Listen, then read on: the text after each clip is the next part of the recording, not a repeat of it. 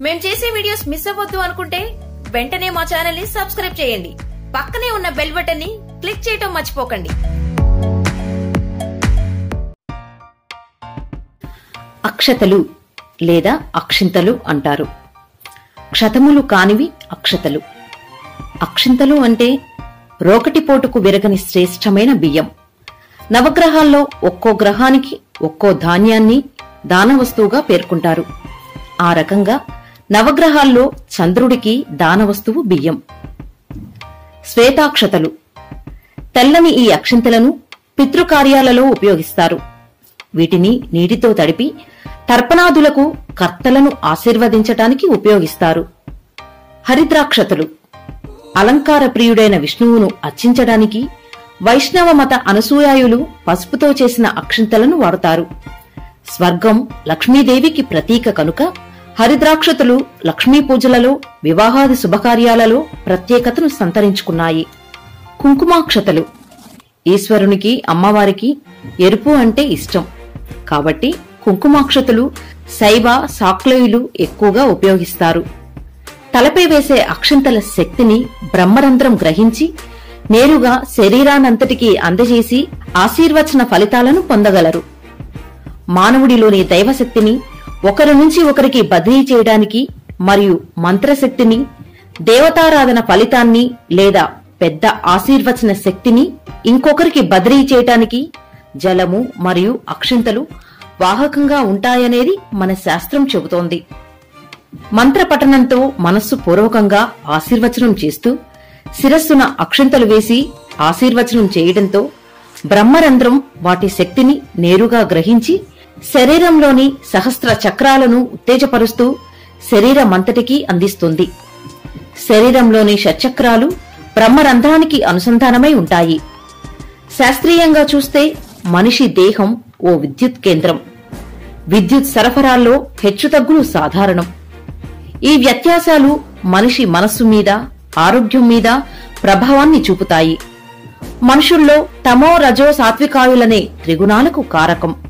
పెద్దలు వధూవరులపై అక్షంతలు చల్లి ఆశీర్వదించే సమయంలో దేహంలోని విద్యుత్తులో కొంత భాగం ఈ అక్షింతలను తాకుతాయి. ఈ కారణంగా అక్షింతల ద్వారా పెద్దలలో ఉండే సాత్విక గుణం పిల్లలకు లభిస్తుందనేది మన నమ్మకం. పెద్దలు విద్వాంసులు గురువులు తల్లిదండ్రులు అత్తమామలు వివాహ సమయంలో శుభకార్యాలలో మనకు అక్షంతలు వేసి శిరస్సును తాకి ఆశీర్వదించడంలో ఆంతర్యం పరమార్థం ఇదే. ఆయుర్వేదం ప్రకారం చర్మ సంబంధ రోగాల్ని అడ్డుకునే శక్తి పసుపు కుంకుమకుంది. అక్షంతలు వేసేవారికి ఎలాంటి రోగ సమస్యలున్నా పుచ్చుకునే వాళ్ళకి అవి సోకకుండా ఈ పసుపు కుంకుమలు నివారిస్తాయట. అంతేకాక పసుపు కుంకుమలు శుభానికి సంకేతాలు కూడా. ఆధ్యాత్మికంగా చెప్పాలంటే జీవుడికి సంకేతం బియ్యం. వివాహ శుభకార్యాలలో జీలకర్ర బెల్లం పెట్టేవేళ మాంగళ్యధారణ వేళ వధూవరులపై ఆహుతులు అక్షింతలు చెల్లి ఆశీర్వదించటం మన హిందూ సంప్రదాయం.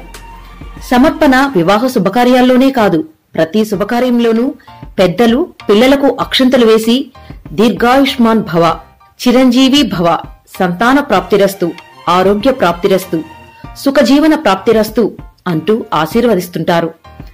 వివాహంలో తలంబ్రాలలో వధూవరులు దోసిలితో పోసిన తలంబ్రాలకు మంత్రోక్తంగా ప్రజామే కామ సమృద్ధ్యాతం పసవోమే కామ సమృద్ధ్యాతం యజ్ఞోమే కామ సమృద్ధ్యాతం శ్రియోమే కామ సమృద్ధ్యాతం అంటూ గృహస్థుల జీవితంలో వారు ఎలాంటి మనోవాంఛలను కోరుతున్నారో జీవితంలో వారికి ఎలాంటి కోరికల సిద్ధి ద్వారా సుఖజీవనం గడుపుతారో మంత్రోక్తంగా చెబుతూ గృహము సంతానం యజ్ఞము ధనము పశువులు పంటలు ఇలా మరెన్నో కోరికలు వధూవరుడు ఒకరి శిరస్సుపై మరొకరు తలంబ్రాలు పోసుకోవటం అనాదిగా వస్తున్న సంప్రదాయం.